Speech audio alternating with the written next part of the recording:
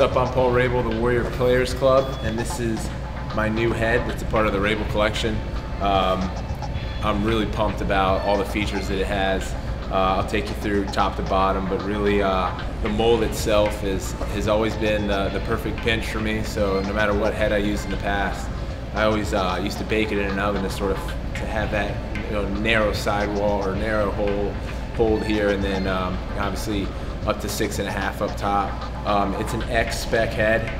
The sidewall here is uh, what I learned through the process is is built for the perfect balance of where I want my pocket to be, which is sort of you know three quarters of the way through, and you learn that through where your head flexes. So is typically where the pocket builds. So we built the sidewall the way it did to, to you know sort of pursue the certain strengths in the sidewall.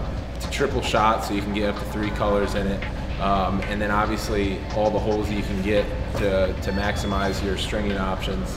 Um, from that, the last thing I'll say is it's maximum offset, which uh, for an offensive player and even defensive players now who are scoring tons of goals um, gives you the most power and accuracy on your shot. So um, get yours at lacrosse.com.